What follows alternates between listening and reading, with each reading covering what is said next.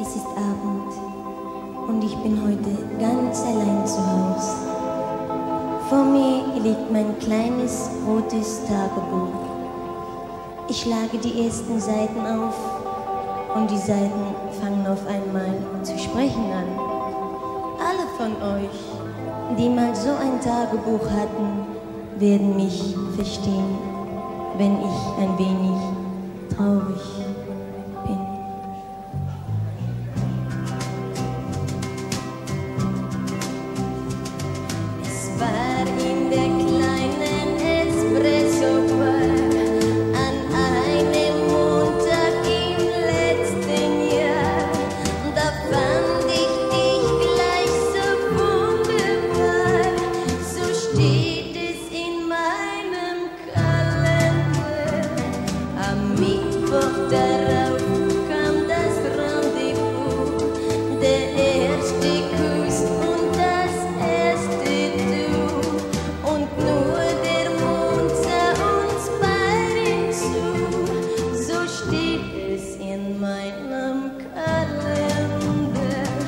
but